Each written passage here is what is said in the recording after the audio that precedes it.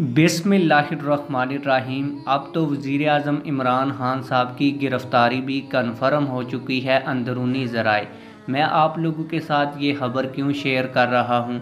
आप लोगों को याद हो या ना हो, मैं आप लोगों को याद करवाता चलूँ कि पिछले रमज़ान से पहले साद रिजवी साहब को एक जनाजे से वापसी के ऊपर गिरफ़्तार कर लिया गया।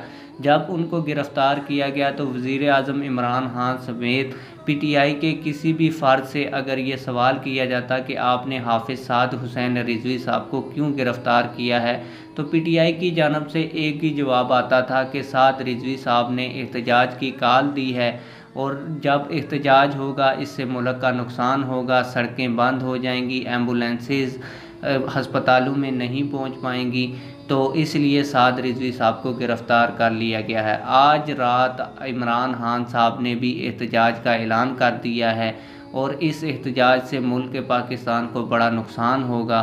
तो अब वज़ी अजम इमरान खान साहब की भी गिरफ़्तारी कन्फर्म बनती है। अगर आप लोग इन दोनों वाक़ात का मुजना करें तो आप लोग इस नतीजे के ऊपर ज़रूर पहुँचेंगे कि अगर साद हुसैन रिजवी साहब की सिर्फ़ एहतजाज की काल देने के ऊपर गिरफ़्तारी हो सकती है तो वज़ी अजम इमरान खान साहब की क्यों नहीं हो सकती? आप लोगों ने इस हवाले से कमेंट सेक्शन में हमें अपनी राय से लाजमी आगाह करना है। मिलते हैं किसी और वीडियो में। अल्लाह हाफिज़।